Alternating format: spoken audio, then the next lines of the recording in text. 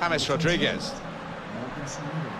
And shoots! And Cristiano Ronaldo scores!